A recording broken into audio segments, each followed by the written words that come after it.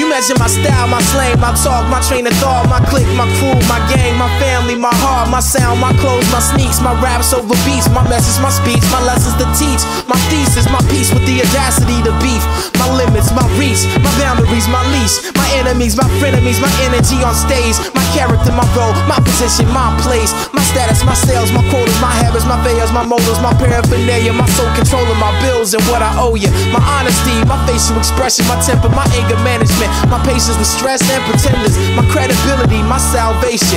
Funny how you measure my love when you are hating. You measure my sins, my image, and my negative behavior. Now when you measure us, do it with the Savior. We are one.